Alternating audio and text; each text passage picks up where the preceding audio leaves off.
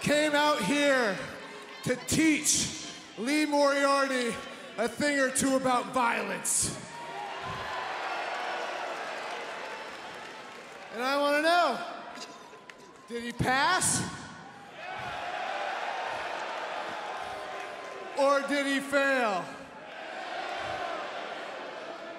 And that's why I don't trust the American public with anything.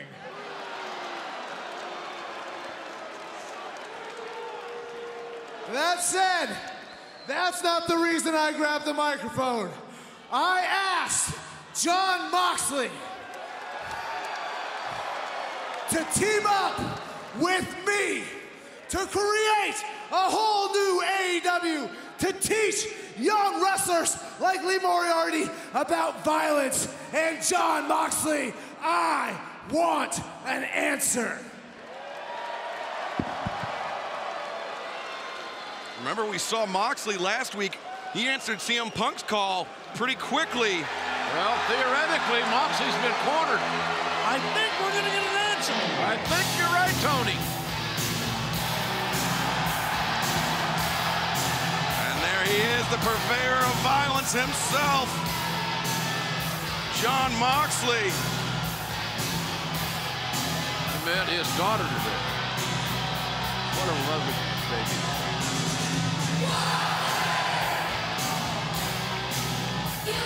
Jon Moxley taking his time. He- He's in no hurry to give Bryan Danielson his answer. Everything on Moxley's terms.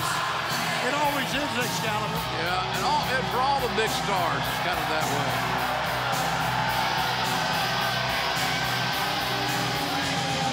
Staying hydrated, I see that's good.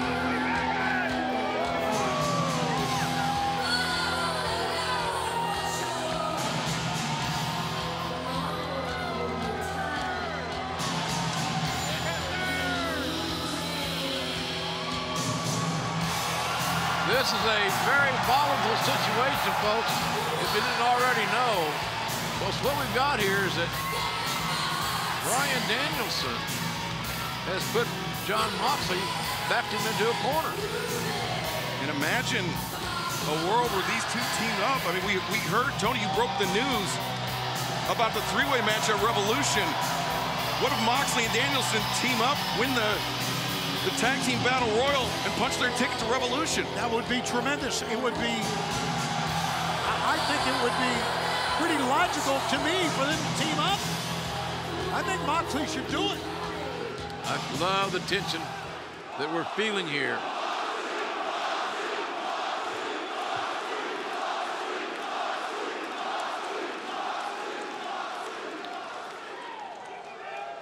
Little over a decade ago, I was a lot like that Lee Moriarty kid. I was a lot like a lot of the kids in the AEW locker room. I was young, I was angry, I was poor, I had nothing to lose, and I took a shot at taking down the great American dragon, Bryan Danielson. We're at a little indie show in Chillicothe, Ohio. You were late. Your flight was delayed because of the weather. So they sent Tracy Smothers out to the ring to vamp with the audience for about 45 minutes. And so finally, I went to the ring, and then you pulled up in the back of the building, already in your wrestling gear, and you got out of the car, and you walked through the kitchen to the ring, stepped through the ropes. It's the first time we met, and I stood face to face, eye to eye, with the man they called the best wrestler in the world.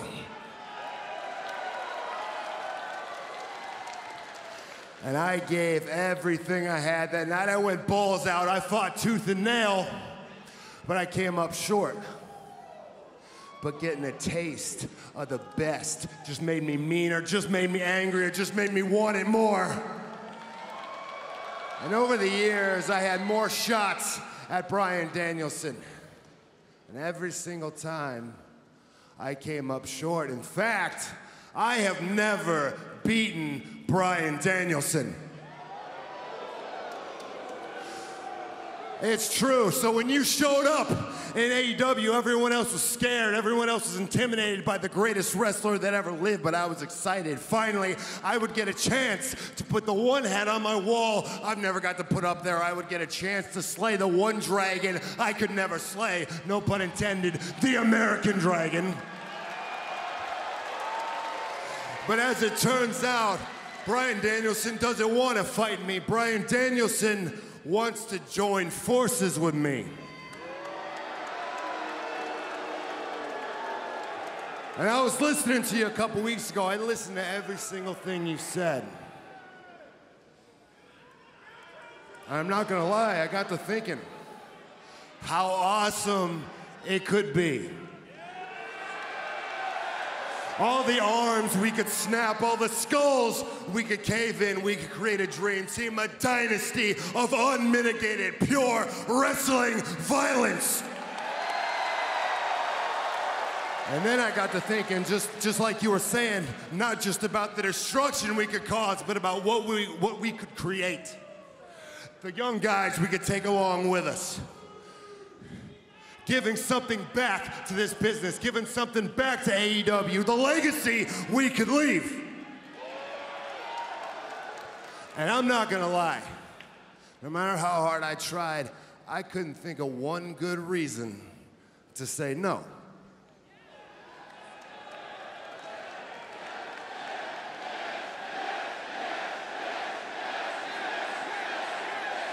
But then I got to wonder, and I wonder maybe is the only reason Bryan Danielson wants to stand side by side with me because he wa- doesn't want to find himself in the one place nobody in AEW wants to find themselves standing across the ring from Jon Moxley. Because he knows I would do to him what I've done to everybody else they've put in front of me for the last three years. And if that's the case, well, then I've already beaten Bryan Danielson. So, which is it? Does Bryan Danielson want to be my partner because of what we could create? Or because he doesn't want to get destroyed? Let's find out. I'll leave it up to you, Bryan. I'm not saying yes, but I'm not saying no. I'll leave it up to you. Bryan, I am not that young kid from a decade ago, and seeing as how, for all intents and purposes, we are meeting each other for the very first time here in AEW in 2022, I'll tell you this. I don't stand side by side with nobody till I bleed with them first. Wow. I can feel that one, man. And the, the fans can feel it. I'm sure you at home can feel it. The potential of one of the great one-on-one matchups, Tony, that we could have ever witnessed. Profound comments from Jon Moxley. He thought that through before he he, he told us what was on his mind.